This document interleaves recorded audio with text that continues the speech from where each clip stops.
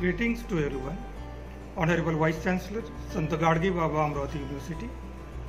Honorable Director, Higher Education, Government of Maharashtra. Honorable Director of this institute.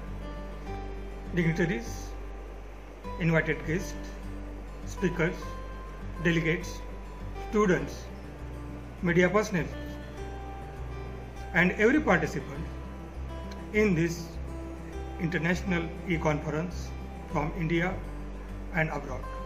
Being a member of organizing committee of this conference, I take this opportunity to welcome you all.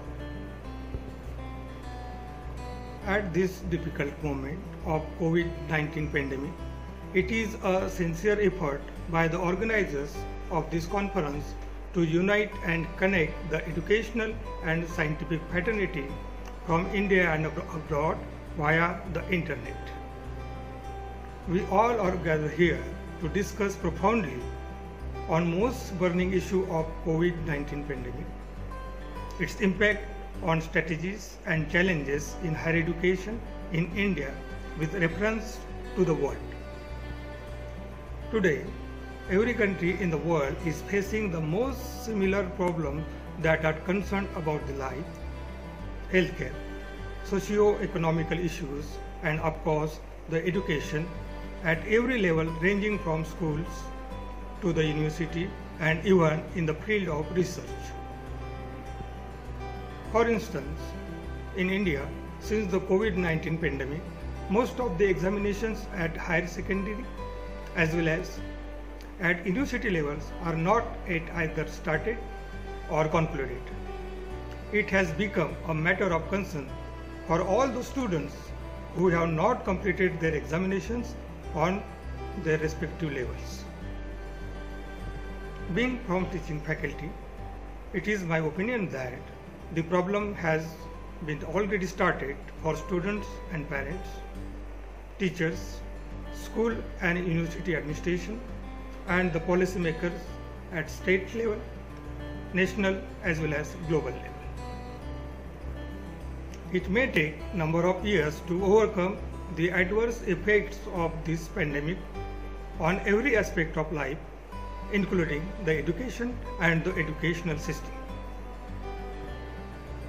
The world is already witnessed the pandemic and epidemic diseases like plague, SARS, MERS, seasonal and winter influenza, and so on.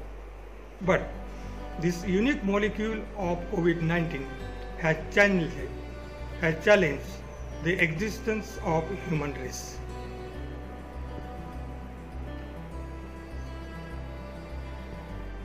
Laboratories and researchers in the world is trying hard to discover a vaccine or medicines to control this virus.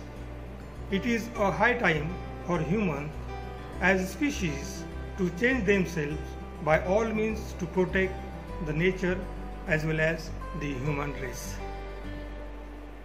At this moment, about 45 lakh people are infected with COVID-19.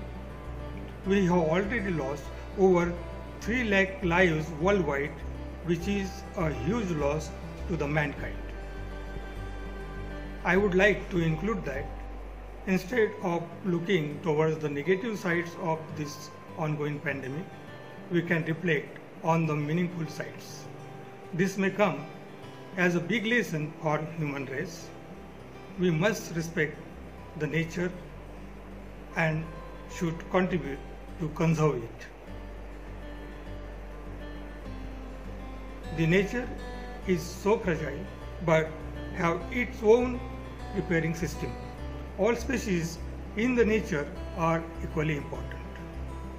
Hence, there must be a healthy state of equilibrium or balance between the organisms in the environment. At this juncture, I appeal each citizen to take all precautions to control the spread of coronavirus. Please follow all the guidelines given by the World Health Organization, central government and local authorities. For this conference, we have invited scientific, and informative resources to enlighten us with their knowledge. Hence, instead of going through the technical speech, I would like to seek attention towards the honorable guest speakers of the day. I thank our visionary director, Honorable Dr. Vasanta Hilavi Reddy, for organizing an awareness event at this tough time of the health disaster. I am also thankful to the organizers for giving me an opportunity to share few words with you all. For next 3 days, we all are connected together to witness the success of this mega event. Let's fight together against this pandemic. Thanks a lot